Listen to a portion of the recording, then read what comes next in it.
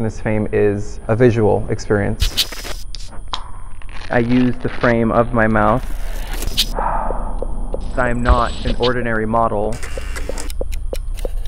Drag, queer culture, every ethnicity, it's really open-ended. We can all wear a lipstick.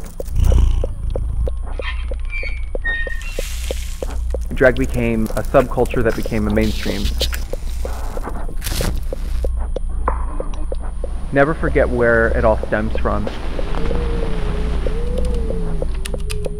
Beauty gave me a voice, not just to say, oh, that looks cool, I wish, but you say, oh, that's cool, I want, and I will.